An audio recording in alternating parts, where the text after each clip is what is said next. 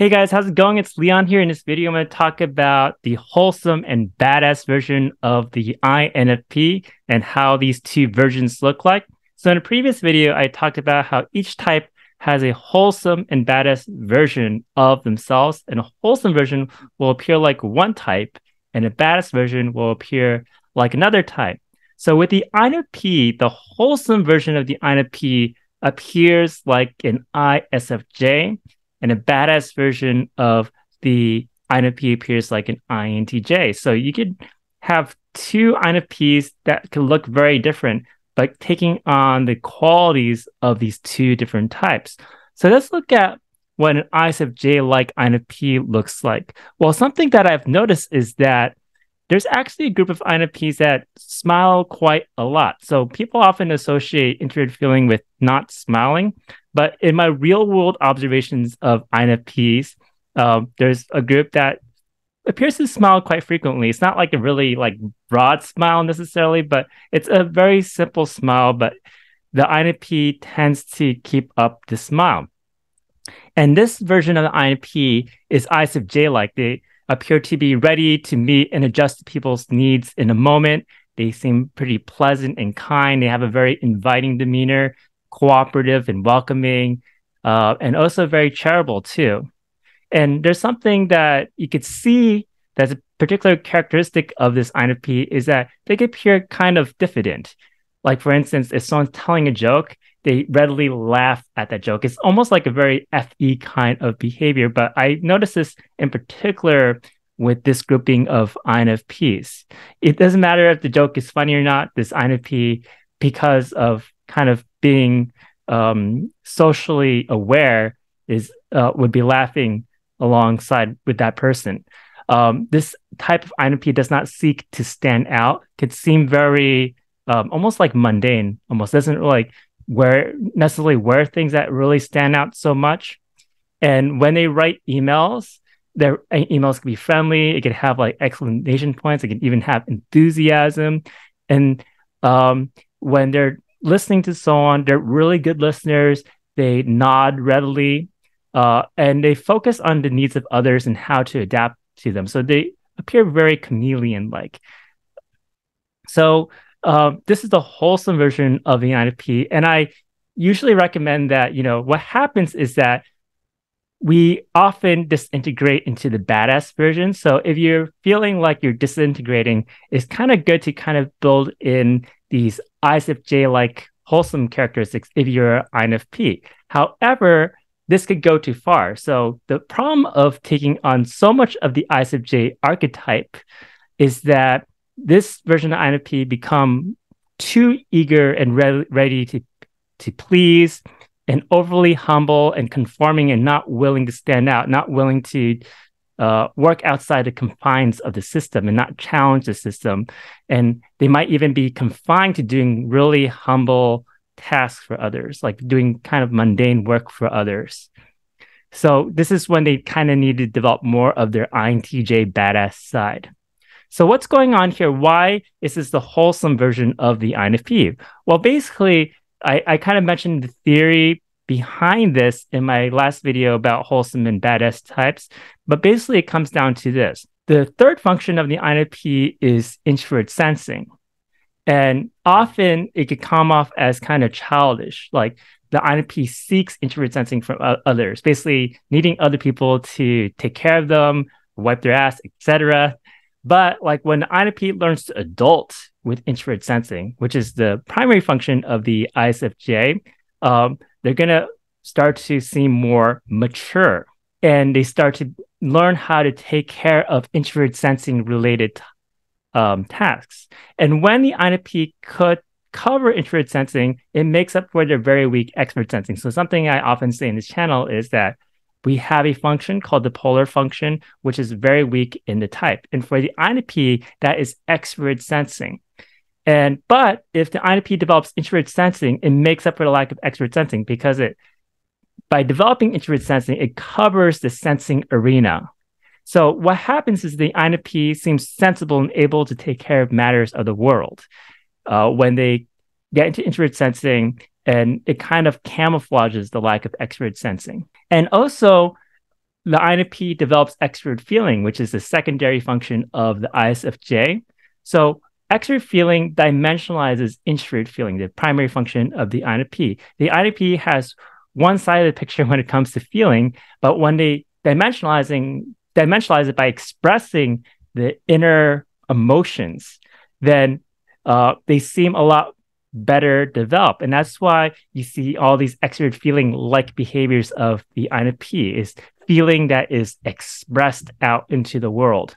Finally, with this version of the wholesome version of the INFP, I would like to give an example. I think Audrey Hepburn is an INFP and she exemplifies this ISFJ-like characteristic. She is not a unhealthy person at all. She, I think she's actually very healthy and very mature. She ex- exemplifies the best aspects of an ISFJ like INFP. Hey guys, I want to take a little break here to encourage you to follow my writing on Instagram. I'm going to read a little piece here. If I learned anything, courage never presents itself in the same way across people, and rarely in a narrow superhuman sense. It comes from people quietly enduring their own individual struggles of experiences we do not know. Thus, there's always something to learn from others. I have my Instagram page down below in the description box. Now I want to talk about the other type of INFP, the INTJ like INFP, when an INFP is a badass. So when INFP goes into the ISFJ direction, they seem very well adapted to society and uh, appealing in that manner. But INFPs, when they take on the INTJ characteristics, they could kind of appear rather enticing but at the same time, this is the direction by which INFPs start to uh, disintegrate. And the reason for this is that this is when INFPs embrace their shadow extrovert thinking, their inferior function, and also their introvert intuition as well. And when that happens, the INFP starts to lose grip on reality. They kind of um, dissociate from reality, fully immersed in the realm of ideas and not like really um, taking care of their own survival skills so much. Uh, no, they're not engaged in day to day living and very much torn away from the world. And this type of INFP does not appear very open minded and it could be rather strict and finicky with their own boundaries. This is where the extrovert thinking comes in. This inferior extrovert thinking comes out and what happens is that this type of INFP could be kind of avoidant of people and rather unforgiving around their boundaries. And when INFPs kind of get into the grip of extrovert thinking, they might even forget about their own introvert feeling. They become rather insensitive and they might start to treat people like strategic resources in order to reach goals, ends, and objectives. And you almost get the feeling that the movement movement of feeling is kind of away from you, right? And I'll give you examples. So the way that this type of INFP writes emails is different from the first grouping of INFPs I was talking about. Their emails tend to be rather terse and lacking in amiability they're not really responsive and not that's not only in their writing when they're writing emails or text but also comes off in speech as well. In fact this type of INFP appears rather brooding and not smiling at all. And you, you kind of get the feeling that you have to kind of earn their attention. And uh, there's something about intuitive types. If you look at the nj types um, the nj types kind of act like they kind of belong in an elite intellectual class. And the thing is, INTPs and INFPs secretly have very strong intuition, but they don't value intuition. So a lot of them tend not to have as much of give off much of that tendency of elitism as the NJs, but still a number of INFPs and INTPs they do. If they kind of get into their intuiting side, they could feel like they're part of an elite class. And when they get into that intro intuition, what happens is that this version of the INFP starts to be uh, rather snobbish and views others as being rather simple or that they're simpletons or as people who are less than than themselves. They could be rather dismissive of others and they could even get rather dis- misanthropic, uh, judging or critical of society. And when they kind of really tap into that intro intuition side, they get could seem rather weird and eccentric, and they have their boundaries up high. That's where the ex- extrovert thinking comes from. However, there's a positive side to the the badass version of the INFP. I think it's actually to some extent healthy to develop this side, especially when the ISFJ side starts to become too strong. Because when the INFP takes up the ISFJ side, yes, they could um, seem um, wholesome in the eyes of society, but at, at, the same time, their life starts to feel kind of stale and also one dimensional.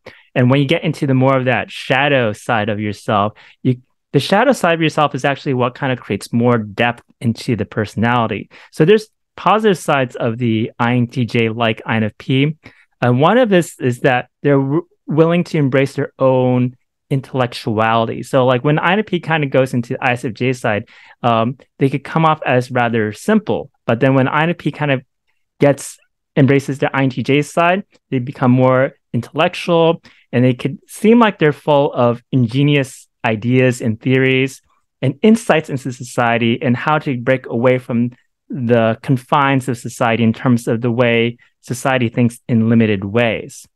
And they're also able to hold to a vision in life and start committing to it when they INFPs embrace their introvert intuiting side. The other thing about the INTJ like INFP is that they could seem more like exciting and edgy, but at the same time, it's important to remember it's easy to kind of disintegrate into this version of the INFP. And that's where building that balance comes in. I think INFPs could go through phases of their life where they're more ISFJ like or more INTJ like. I felt like in the past, I was more INTJ like, and then later on, I became more ISFJ like.